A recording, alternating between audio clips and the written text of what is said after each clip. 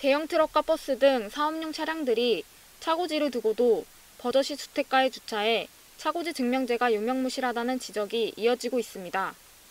화물 자동차와 여객 자동차에 따라 시행하고 있는 차고지 증명제는 주차 공간을 확보해야 차량을 구입할 수 있도록 하는 제도입니다. 그러나 상당수 화물차와 버스 소유주들은 차고지 증명을 통해 차를 구입한 뒤 차고지가 아닌 자신들의 집 주변에 주차하기 일쑤입니다. 이 때문에 주택가 이면도로 등은 밤샘 대형 차량들의 주차로 주차 전쟁이 빚어지고 있습니다. 또한 대형 차량들의 골목길 주차는 응급 차량이나 소방 차량들의 접근을 어렵게 해 인명피해로 이어질 우려를 안고 있습니다. 사람을 인명을 구조할 수 있고 그다음에 화재를 진압할 수 있는 시간이 골드타임 4분 6분입니다.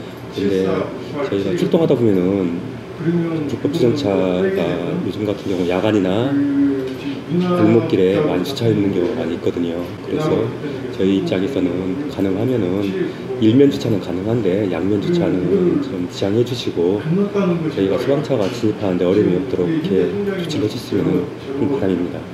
한편 전북 전주시는 지난 한 해 동안 사업용 차량의 밤샘 주차 단속을 벌인 결과 화물차 572건, 여객 자동차 363건을 적발해 행정 처분을 했습니다. K램 김민아입니다.